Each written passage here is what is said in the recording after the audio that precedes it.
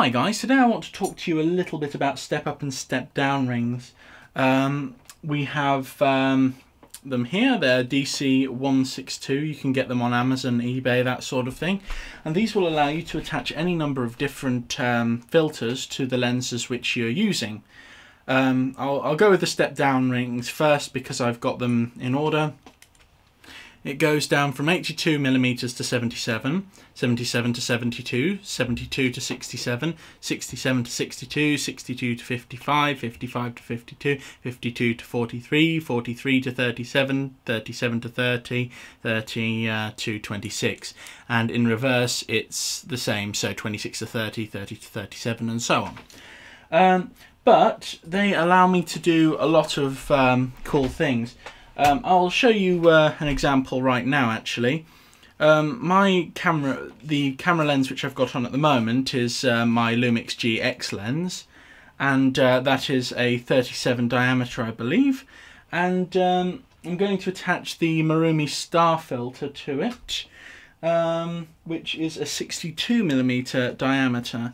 So I'm going to um, go all the way up to 62 and attach the camera lens. So um, we can see the candle, there we go. And through the star filter it will look ever so slightly different. I'll just um, touch it on, there we go. And we'll put you on there. Come on, don't bite me yeah, it, it, doesn't seem to want to exactly go. Is it really 37? Yeah, it is 37. This should work then. It's usually very good. There we go. And instantly we have a star, which is really good.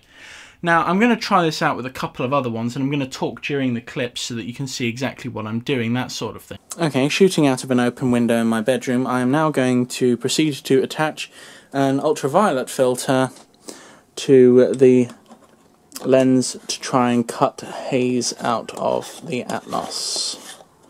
So there we go. And there we have it, a slightly clearer shot, and we can just sort of zoom around a little bit. I think that's really nice actually. And finally onto the real reason as to why I got uh, the step up and step down rings.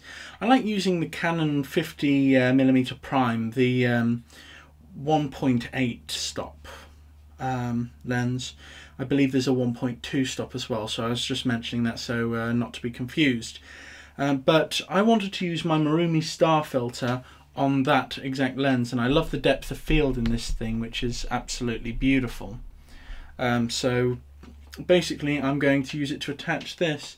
So here's the uh, flame normally and I'll just add the filter ring on. Yeah, it, it, takes a bit of time and it's not helping that the filter is literally, uh, it turns around as well. But there you have it.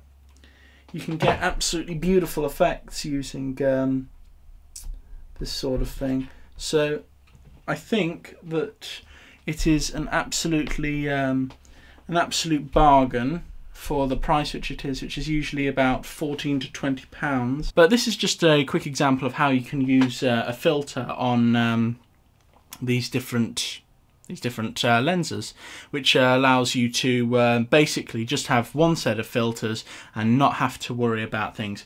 Of course, there are some lenses, well, some lenses which don't fit into the filter settings. So be very, very careful when you're ordering a set of these that you're ordering them for the right um, size up and size down because otherwise you're um, not getting the best benefit out of um, out of these that you could be getting. If you liked this video in any way, uh, please feel free to subscribe, like, rate. Um, if you didn't like it, press the dislike button, leave comments in the thing below and uh, maybe spread it and show it to people. Um, I hope it's been helpful uh, and take care. Bye.